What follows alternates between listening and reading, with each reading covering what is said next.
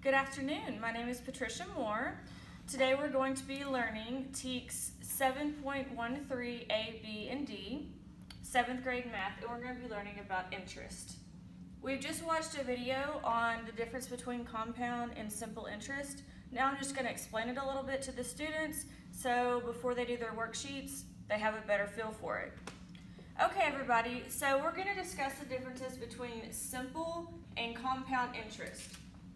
Simple interest, simple interest, is, the formula for that is going to be I equals PRT, where I is the interest, P is the principal. Does anyone know what the principal is? Very good. That's going to be what you start out with, okay? R is going to be your annual interest rate.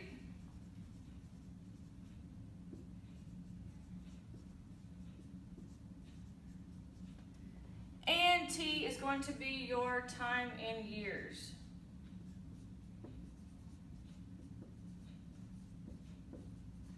Okay, so we're going to start with something simple. We're going to start with something simple so y'all can get familiar with it. Let's say we deposit $1,000 in the bank. Okay? And we're going to put it in a savings account. And this savings account goes by simple interest. So we're going to say, say they give a 10% interest rate over one year. Okay, and this is what the banker tells you. We have a savings account, you're gonna put $1,000 in it, it's gonna accumulate 10% over one year. So if we wanna do simple interest, we're going to, we're going to say $1,000, that's our principal, times the annual interest rate. Remember if we have 10%, what does that mean if we want to put a decimal point? Right, we're just going to go 1, 2. So we're going to times that by your annual interest rate. And then we're going to multiply how many years? Well, we're just doing one year. So 0.10 times 1 times a 1,000 equals 1,100.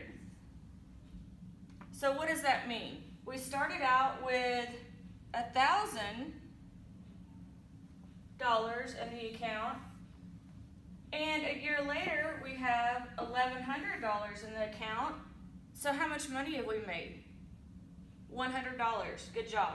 So we're going to put a little note over here that says simple interest. $1,000,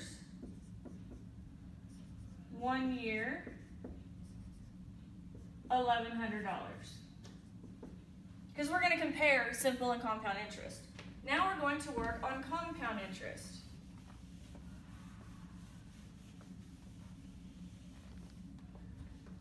Okay, compound interest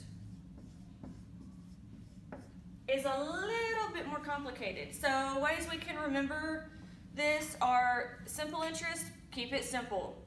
Compound interest, it's a little bit there's a little bit more to it, but it pays off in the long run. So the formula for simple or compound interest is A equals P1 plus R to the N.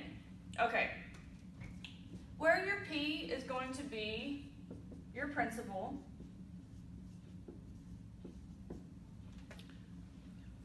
I think I misspelled that. To be your principal. P is going to be your principal. And your principal, again, is going to be $1,000. Your R is going to be your interest rate. And remember we said our interest rate was going to be 10%. The difference now is we're going to do compound interest biannually. And what that means is twice a year. So two times a year. You can get you can gather that by bi means two. Annually means yearly, so biannually. So two times a year, you're gonna get 10% of your $1,000. The great thing about compound interest is after six months, if you're doing biannually, you will get your 10%, which is gonna be your 1100. The next six months, you will get your percentage rate off 1100. So you're gaining interest on interest, okay? So real quick, let's figure this out. We have 1,000 times 1 plus your interest rate, which we decided is 0.10, and biannually, so we put our squared right here because it's twice a year for one year. So after we do the math, we discover that A equals 1210, which means after the same year, biannually at 10%, you have $1,210. By simple interest, where you only have 1100 So, it could go one of two ways. You could say this is a good thing if you're putting in a, in a bank account and you're gaining money, but not so good if you owe someone money. So think of the different ways you could use simple and compound interest in daily life and start working on your projects. Thank you.